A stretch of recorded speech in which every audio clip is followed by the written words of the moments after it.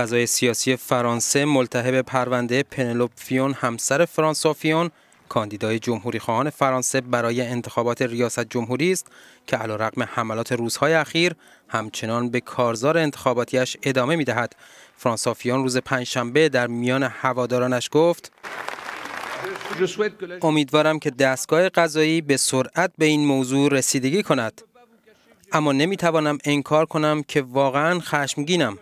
خشمی همراه با خونسردی در برابر تمام این باندی که از کار مخربشان خوشحالند. فیون متهم است که به همسرش تحت عنوان دستیار برای سالها حقوق پرداخت کرده. شغلی که گفته می شود غیر واقعی است. شبکه دو تلویزیون فرانسه پنجشنبه شب و تنها ساعتی بعد از سخنرانی آقای فیون فیلمی از مصاحبه سال 2007 پنلوپ فیون با تلگراف پخش کرد. خانم فیون در این مصاحبه می‌گوید من هرگز دستیار همسرم نبودم.